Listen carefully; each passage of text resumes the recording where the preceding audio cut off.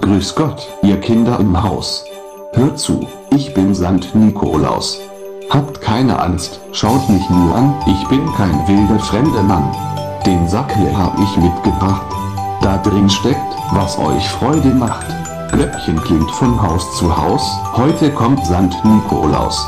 Kommt durch Schnee, kommt durch Wind, kommt zu jedem braven Kind.